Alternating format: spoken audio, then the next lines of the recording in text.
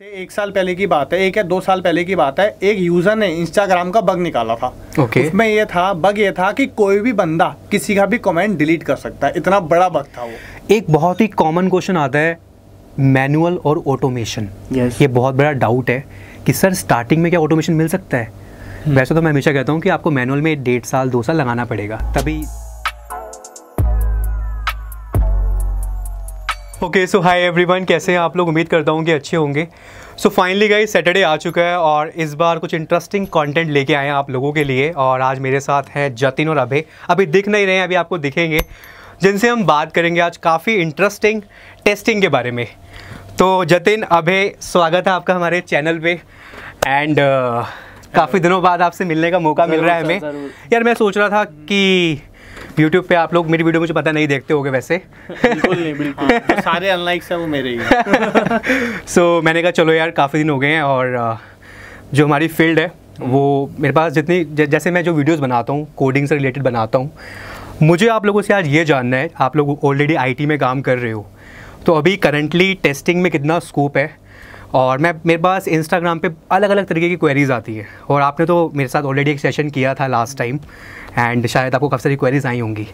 तो वो डाउट्स काफ़ी क्लियर करने की कोशिश करेंगे ऑडियंस की। और क्या, किस तरीके का काम आप अभी कर रहे हो? और आप क्या एडवाइस देना चाहोगे? जतिन, पहले आप बताइए।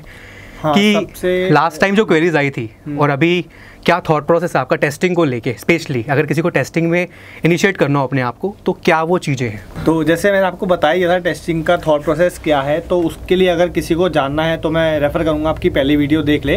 अब आगे की आज बात करते हैं। तो जैसे कि लास्ट वीडियो हमने बनाया उसके बाद मेरे पास काफ़ी क्वेरीज आई कि मैं इस फ़ील्ड से हूँ मैं उस फ़ील्ड से हूँ तो मैं एक ये चीज़ आपको सजेस्ट करना चाहूँगा स्पेशली हमारी ऑडियंस को कि आप अगर डेवलपर हैं तो ऐसा नहीं है कि आप टेस्टर नहीं बन सकते। Okay. और अगर आप टेस्टर हैं तो इसका मतलब ये नहीं आप डेवलपर नहीं बन सकते। और सबसे ज़्यादा क्वेरीज ये आती है कि हम इंजीनियरिंग तो है कर की है लेकिन कोई मैकेनिकल है कोई सिविल है तो वो सोचते हैं कि हम इसमें कैसे आए। तो ये बात सही है जनरली हमारी फ़ील्ड जो है कंप्यूटर साइंस की है तो उसमें ही स्कोप है बट हाँ अगर ऐसा नहीं है कि मैकेनिकल इंजीनियर नहीं कर सकता ऐसा नहीं है काफ़ी डेवलपर्स हैं मैकेनिकल इंजीनियरिंग वाले उसके बाद वो छोड़ के या स्विच करके आई डोंट नो इस वजह से आते हैं। क्या ऐसा भी होता है जतिन कि किसी ने तीन साल डेवलपमेंट करी हाँ, फिर। वो टेस्टिंग में आ गया? ऐसा भी कोई एग्ज़ाम्पल देखा है आपने कंपनी में अपनी? हाँ हाँ बहुत देखा है। अब जैसे क्या होता है अब जैसे फॉर एग्ज़ाम्पल आप डेवलपर हो ठीक है ना आपको टेस्टिंग की काफ़ी फील्ड्स आप वो करना चाहते हो आई मीन एक्सप्लोर करना चाहते हो तो आप बिल्कुल इसमें आ सकते हो।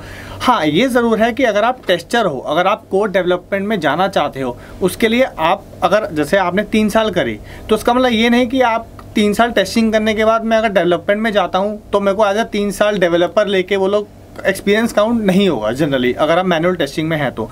ऑटोमेशन में है तो हाँ थोड़ी कोड लैंग्वेज बंदे को हमेशा होती है ऑटोमेशन टेस्टर को।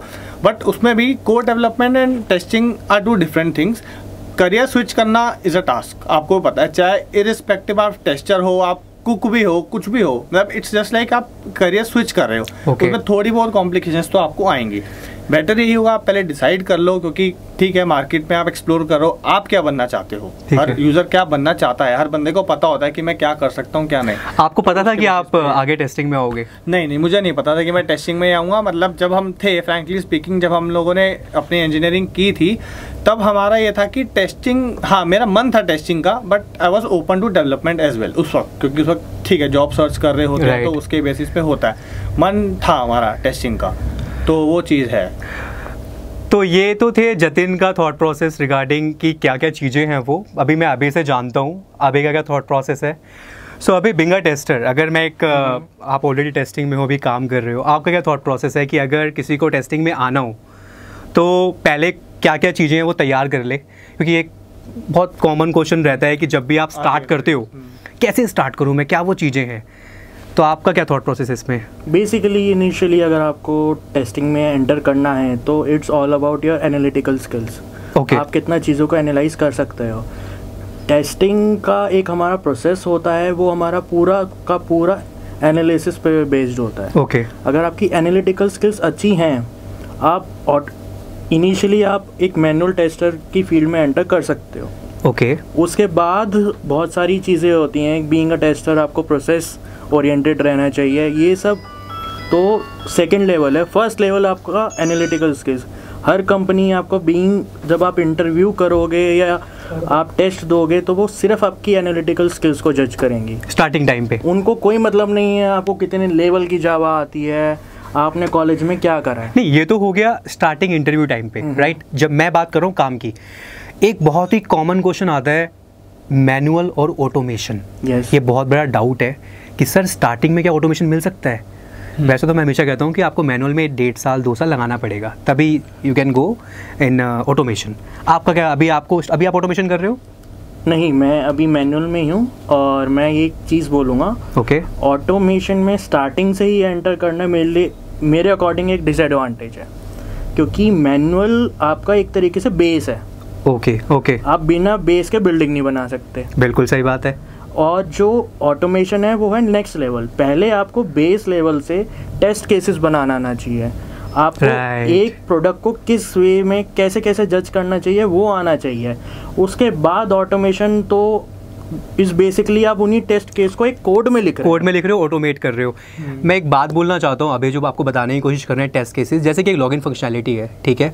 अब उसमें आप यूज़र नेम डालते हो पासवर्ड डालते हो सबमिट करते हो ये तो एक नॉर्मल प्रोसेस हो गया। इसको आपने क्या किया? एक इंग्लिश फॉर्म में लिख दिया कि ये मेरी टेस्ट डिस्क्रिप्शन रहेगी और आफ्टर लॉगिन करने के बाद क्या रिज़ल्ट आएगा एक्सपेक्टेड रिज़ल्ट क्या आएगा? तो इस तरीके इस तरीके की ये शीट एक क्रिएट करते हैं और वो सारे पॉसिबल केस उसमें मेंशन करते हैं और एक फंक्शनैलिटी को टेस्ट करने के लिए आगे प्रोसीड करते हैं। राइट जतिन? बिल्कुल सर जैसे अभी ने बोला कि मैं एक सिंपल एग्जांपल लूँगा। सर पहले दुनिया में बैलगाड़ी आई उसके बाद मोटरसाइकिल आई है। पहले मोटरसाइकिल नहीं आई। आप किसी चीज़ को आपको पता है उसको मैनुअल कैसे कर पाओगे तभी उसको मशीन को बोलोगे इंस्ट्रक्ट करोगे भाई तू अपने आप कर। लेकिन अपने आप भी वो तभी करेगी जब आप उसको बताओगे कैसे करना है। वो तब होगा जब आपको पता होगा कि वो कैसे करना है। तो प्रोसेस है। जैसे अभी ने बिलाओ बिल्कुल सही। और मेरे पास भी काफ़ी क्वेरीज आती है। जैसे आपने बोला कि, सर ऑटोमेशन में जा सकते हैं। सबसे बड़ी क्वेरी मेरे पास आज की डेट में क्या आ रही है? सर फटाफट बताओ पैसा कैसे कमाना ये तो है। तो भाई उस केस में तो या तो दो ऑप्शन हैं। या तो आप अंबानी की जनरेशन में पैदा हो जाओ या तो मेहनत कर लो। सर दूसरी सी बात है मतलब एकदम से इनिशियल मेरे पास क्वेरीज ऐसी आती हैं। सर ये बताओ सब छोड़ो पैसा कैसे कमाना है टेस्टिंग में? मैं फटाफट क्वेरीज आती है सर ऑटो अपना टेस्टिंग में जाऊँ या सॉफ्टवेयर में जाऊँ मुझे फटाफट से पैसा चाहिए।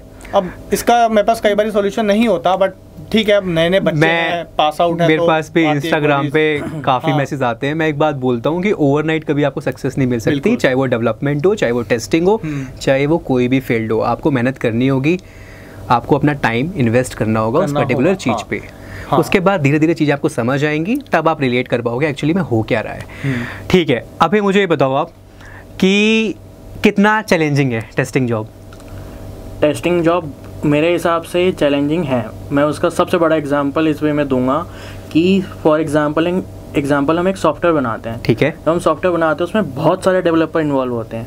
लेकिन जब वही टेस्टिंग के लिए जाता है उसमें टेस्टर एक ही होता है। अच्छा ऐसा।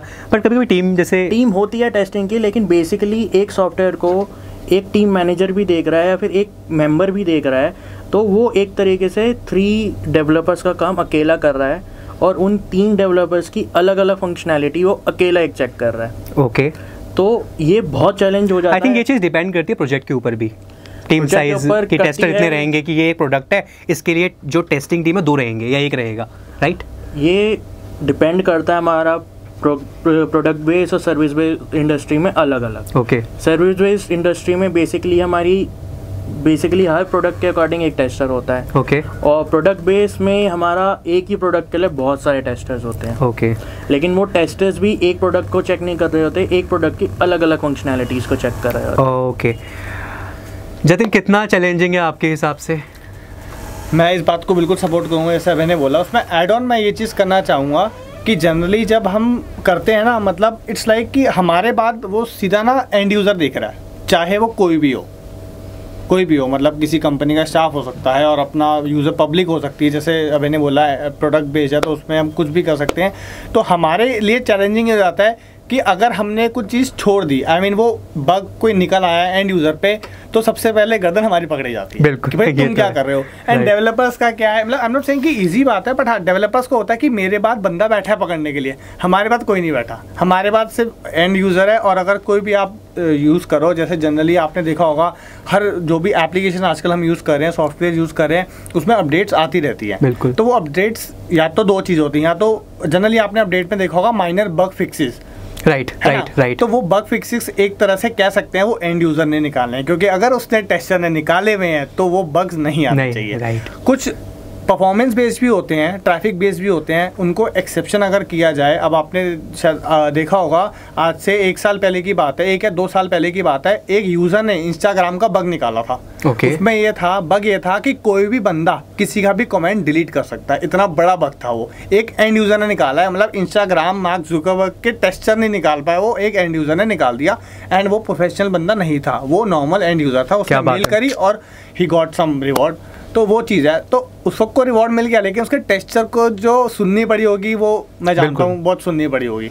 तो ये चीज़ है। थोड़ा प्रेशराइज होता है डेडलाइंस वगैरह होती हैं। तो उस केस में काफ़ी काफ़ी चैलेंजिंग हो जाता है हमारे और आज के टाइम में हमारी सोशल मीडिया इतनी एक्टिव है कि जैसे ये बहुत बड़ा एग्ज़ाम्पल है उससे इंस्टाग्राम के एक कंपनी पे क्या सोशल इम्पैक्ट पड़ा है आप इमेजिन कर सकते हो। अगर एक एंड यूज़र बग निकालता है वो मैं वही- कंपनी को डायरेक्ट नहीं बता